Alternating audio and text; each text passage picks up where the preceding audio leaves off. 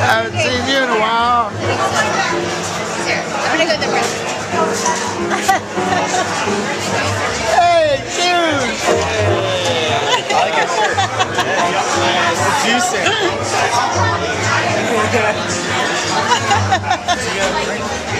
You guys are so funny. Get this one. What is that? It's like uh, Arnold Palmer. You probably do double though. Yeah, what's going on? I'm just, uh, I just Dylan. So you tell me what's going on with you. I just got here. You just got off the purple line? I got, I get here and then all of a sudden I'm being interrogated right now. Here's your light. It's your dad's idea.